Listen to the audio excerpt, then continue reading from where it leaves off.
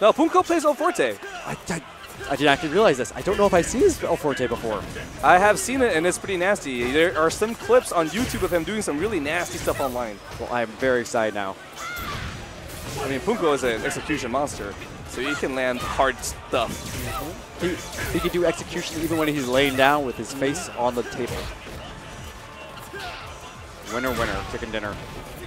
Pretty close round one so far. A lot of scrambling going on. Everybody trying to find that perfect spot to get oh. positioning. Oh, nice backdash. I like that. And you're going to see a lot of this between these two characters. Tons of scrambling. And really, honestly, just looking for the Oki to get their offense started. It's very two very active characters want to get in there, get their knockdown, start hitting their buttons. And it's strange. You guys see a lot of El Fuertes here in NorCal. And Poongko actually plays surprisingly calm for El Fuerte, I feel. Oh, yeah. Ultima and Nando are another our other um, Fuerte brothers. Like, that was actually a smart block string and then a chase down with a Q-bomb. And oh my god, just does the Q-bomb again and finds a stun. That was a quick second round for Poongko. That was less than 20 seconds. That was 19 seconds. Math. Yes, I can do some subtraction. Damn. Rack me. I know math. All right, well, right back in there. Now, Tonpy never really got his uh, pressure going, uh, so we'll see if he finally gets a knockdown, how this transitions, and here we go. Yeah, didn't quite get that. Um, I think he was aiming for the cross of fierce. At least that's what it like. Such good pressure. That's, that's why you don't press buttons after you get hit by the Thunder Knuckle. He's plus.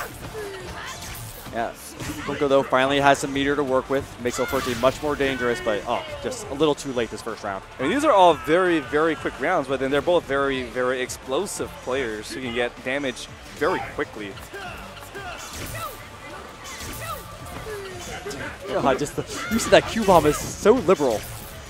You gotta be though. You're you are Fuerte. If you're not liberal with all your tools, and then, of course in moderation, then you're not playing the character to his strengths. Oh, okay, but gets out of the corner. Great use of armor from both players. Wow, that was really impressive by both of them. To have the, uh, the those responses in those uh, those moments, that's really difficult.